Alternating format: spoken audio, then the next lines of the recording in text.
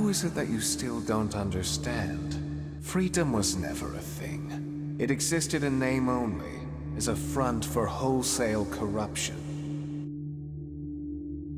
If you really believe in concepts like freedom and potential, why bother with creation? Were these things not present, abundant, more accurately, in the previous world? Why did you not pursue your goal back then?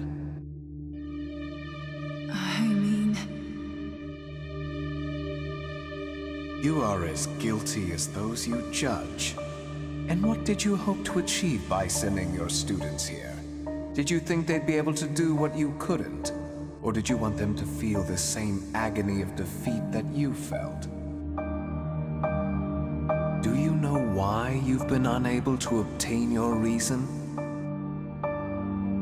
All this time, you've just been running away, trying to leave everything behind.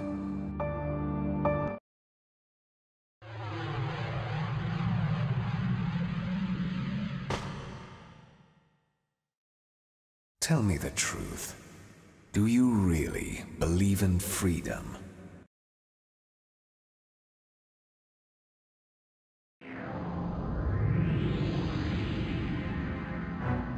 Your choice to believe in Shijima, human, is a type of freedom itself.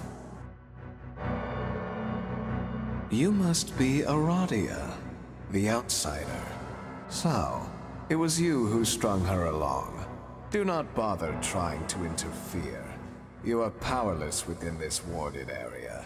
Just watch quietly as my god descends from above.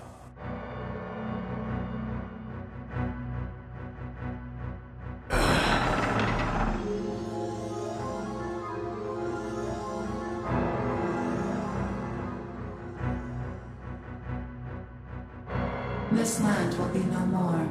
Woman, we shall set out for the new land. No, I'm not going anywhere. I can't. I have to stop Hikawa, or else both the previous world and the new world will die. I shall await you there, woman. Remember that hope is the way.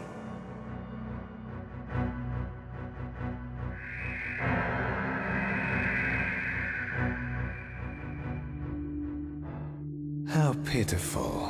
Deceived and now abandoned by a false god. This space will soon be consumed by the void. Now, sacrifice yourself to my god and fulfill your duty as the maiden. Who disturbs us? It is the demi-fiend who steps into my sanctum. I don't know what you were thinking, but I have no intention of fighting you. Now, I'd appreciate it if you'd stand aside and cease with the interruptions. I am deeply disappointed in you. How can you allow yourself to be swayed by this woman? I've left you alone thus far, but now there is no point in letting you live. My faithful servant Samael will take care of you.